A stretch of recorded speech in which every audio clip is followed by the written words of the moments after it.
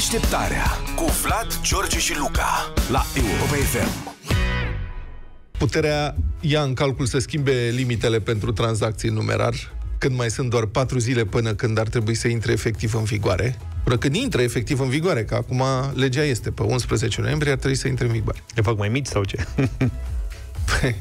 Deci vă reamintesc, băi, după luni de zile, că au fost luni de zile de discuții, dezbateri, controverse, scandaluri, proteste, Guvernul și-a asumat răspunderea în Parlament pe noul pachet legislativ cu creșteri de taxe și impozite și inclusiv cu această um, măsură, în principiu, a limitării tranzacțiilor uh, cu numerar. Um, asumarea răspunderii e o procedură prin care guvernul poate trece cu forța o lege prin Parlament, dacă are majoritatea necesară, anulând efectiv orice dezbatere și orice șansă de corectare a proiectului respectiv prin amendamente, prin discuții, prin obiecții ale parlamentarilor. Deci o trec cu forță, asta înseamnă. Dar nu că n-ar fi existat discuții și avertismente în spațiu public, că nu e în regulă să împiedici oamenii din mediul rural mai ales să cheltuiască bani cash în condițiile în care mediul rural nu sunt nici bănci, nici bancomate multifuncționale unde să poată să-și uh, depună banii ca să aibă banii pe card. Atunci când fac încasări la magazine, am vorbit despre asta. Și acum, iată, fostul ministru al energiei, Virgil Popescu, care e acum un președinte de comisie parlamentară, a anunțat că depune un proiect de lege prin care se vor abroga articolele care limitează plata cu bani lichizi. Dânsul e PNL. PNL face parte din guvernare. Uh-huh. Lui s-au alăturat și alți parlamentari PNL, printre care și un vicepreședinte al partidului, Robert Sighiartău. Deci nu e o inițiativă marginală.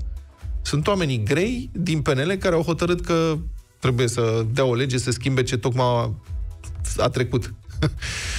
Deci, anunțul vine după declarațiile din weekend ale președintelui PNL, domnul Nicolae Ciucă, uh, uh, care a spus că care a spus că el nu este de acord cu limitarea plăților în numerar. nu e așa? Ce? Da, da, da, da, da.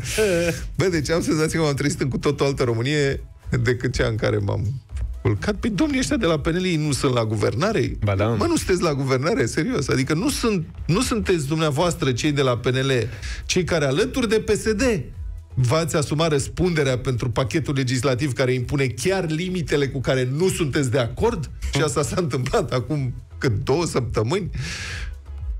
Asumarea răspunderii. Ce înseamnă asta exact pentru PNL? Deci când îți asumi răspunderea, înseamnă, băi, știi ce, e bine ce fac, nu accept niciun fel de modificare la ce fac. Eu mi-asum răspunderea că așa o să fie bine. O săptămână mai târziu, bă, nu e deloc bine, trebuie să schimbăm. Păi nu ți-ai asumat răspunderea? Adică n-ai zis că nu schimbi nimic tocmai pentru că știi tu că e bine? Uite că nu e bine. Ți-ai asumat răspunderea. Ce înseamnă asta? Adică vorbe goale. Evident. Citez din declarația domnului Virgil Popescu de la PNL, fost ministru al energiei. PNL nu a susținut și nu susține limitarea plăților cu numerar. Cum adică nu susține? Păi, ce ați făcut? Nu ați trecut măsura asta prin Parlament? Astăzi, zice dânsul, adică ieri, voi depune un proiect de lege pentru a abroga amendamentele prin care s-au limitat plățile cash care să fie dezbătut în regim de urgență pentru a reveni la normalitate. Deci rezultă că prin decizia PNL de acum, când a fost o săptămână, când a fost Adi, când au trecut prin asumarea răspunderii, că uite că îmi scapă în momentul ăsta. Deci, decizi, prin decizia respectivă, care a aparținut și PNL, nu? S-a creat o situație de anormalitate. Dar acum partidul vrea să revenim la normalitate. Iar domnul Ciuc a declarat, citez, în aceste condiții în care această măsură de plafonare a plăților cash, cu care nu am fost de acord de la început, păi, președintele partidului, este președintele Senatului. Dar nu am fost de acord de la început. Cine te-a forțat, domne? Poate au spus-o între ei acolo. Poate au avut o ședință și au vorbit da, între a ei. A fost, zice, măsura luată în coaliție. Un impersonal de ăsta. Domne, s-a luat măsura în coaliție, din care, sigur, noi facem parte. Avem jumătate de decizie explicându-se la vremea aceea care sunt intențiile pentru care se adoptă, am discutat cu ministrul de finanțe, am stabilit și în BPN că această măsură trebuie să fie revizuită cât mai curând. Păi nu vă supărați, dar când ați discutat în coaliție, nu vi s-a părut uh, nimic uh, dubios sau dormeați? Stai că a intervenit domnul Adi. Zi, mă, pe cuvinte, mă, că de ești la radio. la final de septembrie asumarea răspunderii, de CCR au trecut la jumătatea lui octombrie. Eh, nu e totuși chiar așa mult. Bun, deci discuția în coaliție la ce a fost? Adică pentru ce? Poate dormeau, poate, nu știu, nu-mi dau seama. Sau mai rău, și de fapt aici cred că este adevărul, imensa majoritate, dacă nu chiar toți oamenii care conduc această țară, din Palatul Victoria, din ministere, sunt de fapt oameni fără experiență de viață și economie reală. Sunt oameni care n-au lucrat nicio zi, de fapt, pe bune în economia reală. Ei nu înțeleg lucrurile astea. Uh, nu știu, pur și simplu, ce înseamnă să fii antreprenor. Cu ce greutăți te confrunți. Nu știu nici măcar cum e să fii angajat la patron. La un patron bun sau rău.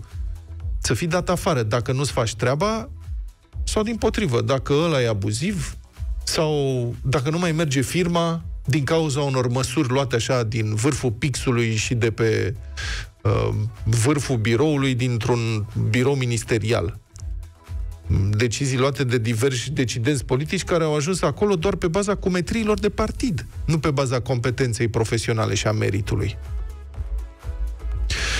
Nu vă supărați că vă întreb, doamnelor și domnilor din guvern, dar chiar nu poate cineva de pe acolo, de la voi, gândi ce efecte vor avea deciziile pe care le dați înainte să dați deciziile respective? Nu puteți vă gândiți la consecințele faptelor voastre?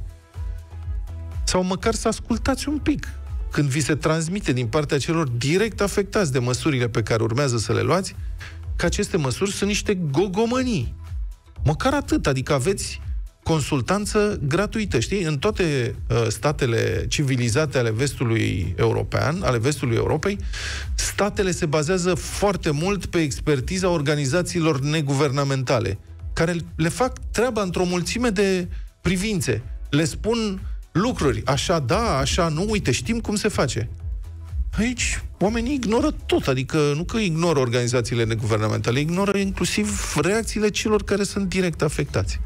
Și e plin de astfel de probleme. Adică numai departe de acum două săptămâni am vorbit aici despre ridicolul desăvârșit al noilor burse de merit imaginate de ministrul educației, doamna Ligia Deca, fost consilier prezidențial pe probleme de educație, prin care uh, sunt premiați pentru merite deosebite elevii cu note de sub 2 la admiterea de la liceu.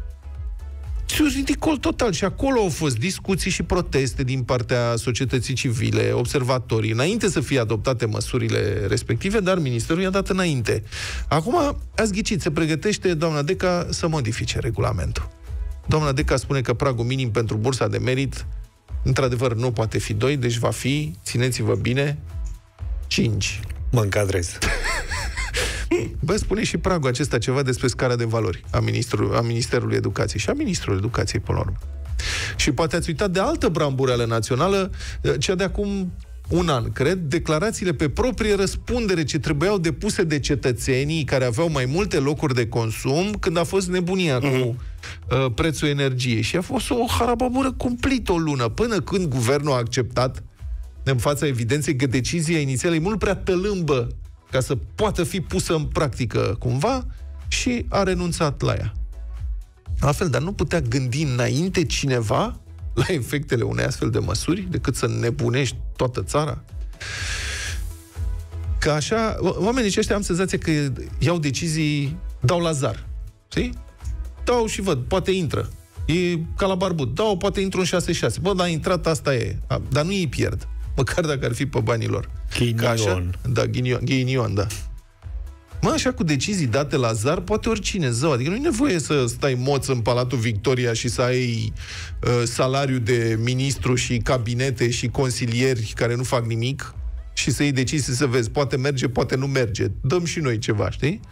Adică, cel mult, cred că poți să fii în stilul ăsta, poți să fii chibiț în Cismigiu te duci acolo în Cismiciu, stai pe margine la șahiști și le zici alora ce ar trebui să facă, numai că acolo șahiștii sunt nervoși, cred.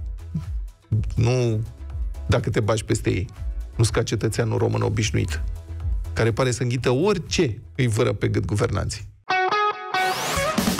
Deșteptarea cu Vlad, George și Luca la Europa FM.